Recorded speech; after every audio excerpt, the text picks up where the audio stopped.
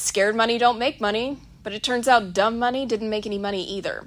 Dumb Money, the doc fiction movie about the GME short squeeze led by Wall Street Bets, has reportedly taken a $15 million bath at the movies so far, despite having everyone's favorite boy Pete Davidson in it.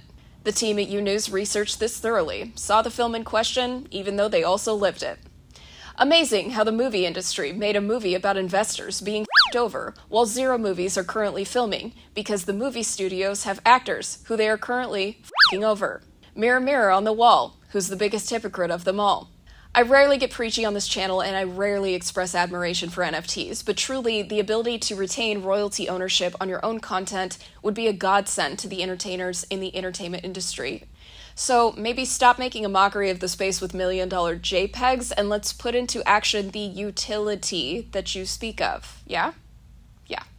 I'm Tupac of course. Like and repost if you enjoyed this quick and useless crypto news.